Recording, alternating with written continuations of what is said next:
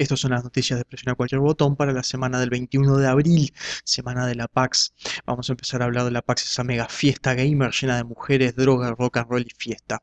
Eh, eso es todo mentira, en realidad estas son dos corresponsales que le paga 2K, eh, no pasa nada de eso en la PAX. Es más, piense que PAX es Penny Arcade Expo, piensen lo que es el lector promedio de Penny Arcade y ese es el tipo de gente que va. Acá estoy mostrando lo que es la exposición que hizo 2K. 2K me encanta, creo que hoy en día es uno de mis publishers favoritos. Take la rompe, creo que entiende a los gamers, saca juegos fantásticos, se preocupa, por ejemplo, a toda la gente que estaba acá, le regaló DLC para el Borderlands, sabe lo que la gente quiere, invirtió muchísimo en esta convención de PAX y entiendo por qué. Para un desarrollador, si quieren de segunda, atrás de Activision y Electronic Arts o las grandes como Nintendo, Microsoft y Sony, es muy caro exponerse en una E3 pero una PAX la podés dominar y donde van a ir los jugadores más hardcore a la PAX, porque la E3 está pensada más que nada para prensa. Entre las cosas que mostraron, ahora Borderlands de pre-sequel.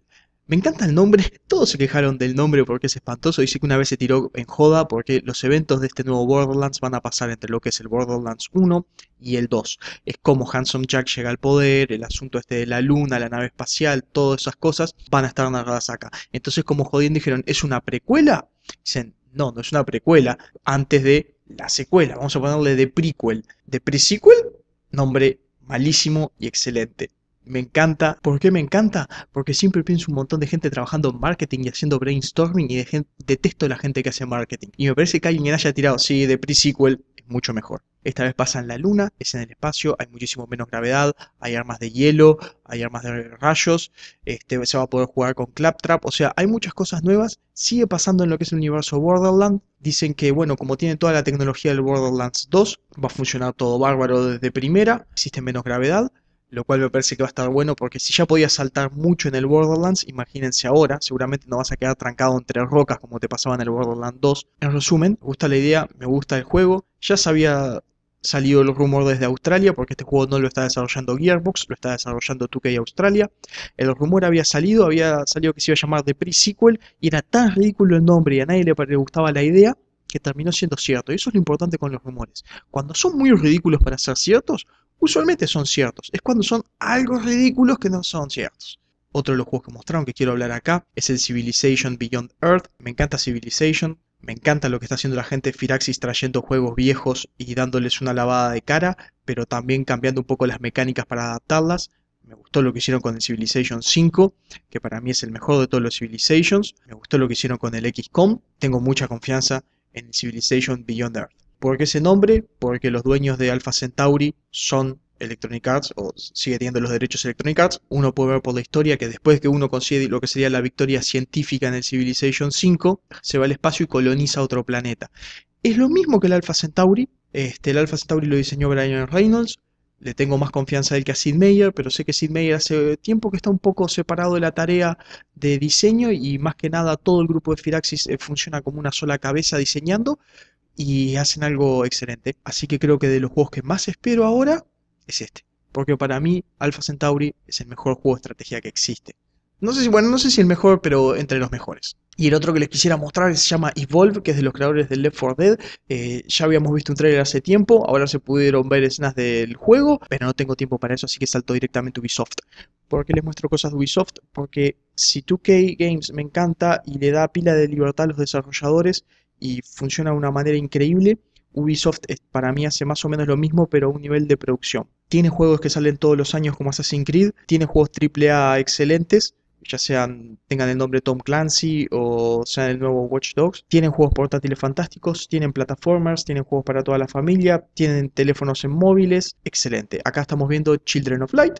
Esto es el trailer de Conoce a Lemuria, que es el mundo donde funciona Children of Light. Miro esto y digo, parece un juego indie. Y por eso quiero mostrar las cosas que hace Ubisoft. Ubisoft, eh, este es el engine del Rayman, eh, puede hacer prácticamente todo bien. Juegos AAA, juegos pequeños, eh, juegos descargables como el Trials. Estaba por mostrarles el nuevo Trials, pero creo que mostrarles esto es mejor, porque representa que es lo que me gusta de, Ubisoft esa capacidad para hacer todo. Este juego va a salir en todas las consolas fijas. Este, una lástima porque me parece que se presta más para portátiles y sale ahora a fin de abril, el 30 de abril está saliendo. Y después quiero hablar de otro juego que ya salió, de Nintendo, pero que Nintendo tiene una magia increíble. Este juego se llama Rusty Dial Baseball. La idea del juego es que vos sos Un gran jugador de béisbol, bueno, que abandona y tiene una tienda donde vendes tarjetas de béisbol en Japón. A los niños no les está gustando más el béisbol, quieren jugar videojuegos. Entonces, ¿qué haces? Vendes videojuegos. Pero como te gusta el béisbol, vendes videojuegos de béisbol y estás dispuesto, y esta es la parte entretenida, a bajar los precios. Entonces, son 10 minijuegos de la temática del béisbol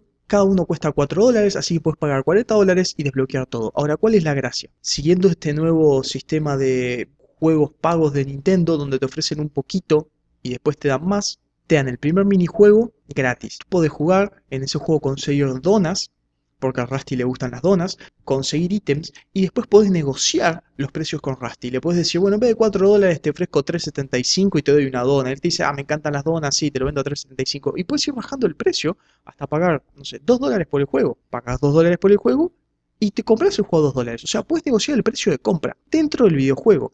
Eh, esto no lo vi antes. Tú siempre compras por afuera los videojuegos, nunca compras juegos adentro de otra plataforma. Recuerdo sí los arcade cabinets, estos que salieron para eh, iOS, pero nunca funcionando así, nunca con un sistema de precios que lo negocies.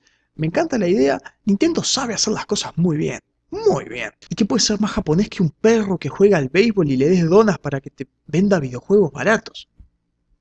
What the fuck, Japón, what the fuck. Y termino mostrándoles lo que va a ser el nuevo update de la PlayStation 4, el 1.7. En, este caso va a traer una cosa que se llama Share Factory, que permite editar videos y capturar los videos. Ya tiene un editor de video, el PlayStation 3, funciona bien, pero es como engorroso usarlo, capturar video, editar en un Play, como que es algo que no vale la pena. Cuando se habilite Share Factory se va a habilitar el famoso botón Share, que tiene la PlayStation 4, ese que Hideo Kojima amaba. Con el Share Factory uno va a poder grabar su propio gameplay, editarlo. Si tiene una PlayStation cámara se puede grabar a sí mismo, ponerle música y subirlo. O van a deshabilitar, que esto es muy importante, el HDCP de la PlayStation 4 para poder capturar video. Por ejemplo, cuando nosotros grabamos la preview del Second Sun, no pudimos tener imágenes del juego porque no nos habilitaba capturar el video. Ahora la PlayStation 4 por sí misma va a capturar ese video y uno se lo puede llevar en un USB. Share Factory es lo próximo que quiere hacer Sony. Entiendo que para la gente que quiere usar Twitch TV o hacer stream es un pobre recurso. No es lo mismo que hacer un streaming en YouTube o en Twitch TV, pero también tiene muchísimo potencial. Esto es una de las cosas que fue ofrecidas al principio, ya lleva 6 meses la consola